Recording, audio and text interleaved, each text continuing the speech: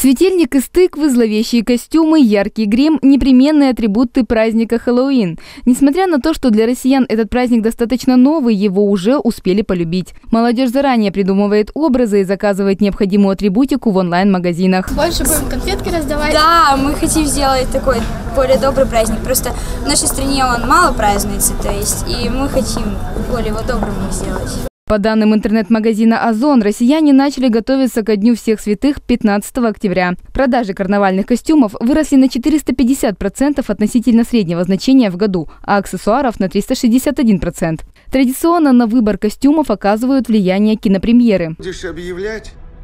Назови меня Джокер.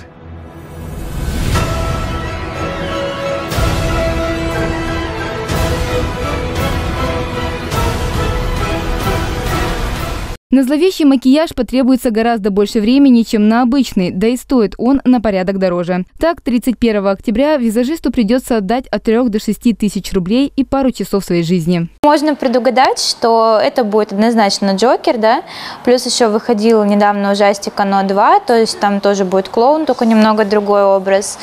А, ну, я думаю, что будут стандартные образы, как они, скелетов, а, монашка из ужастика, да, который астрал, да, этот ужастик самый популярный.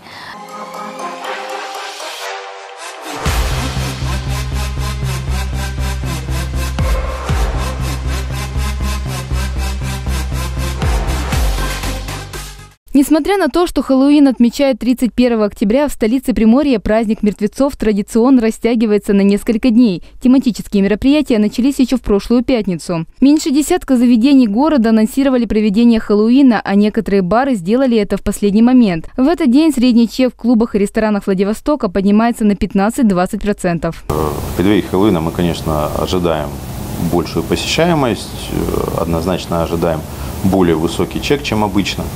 Мы представим наших сотрудников в виде персонажей из Алисы, так как Алиса – это наша тематика, тематика нашего заведения. Конечно, мы под нее подберем все костюмы, ну, мейк какой-то, да, чтобы больше реализовать нашу идею в этом празднике.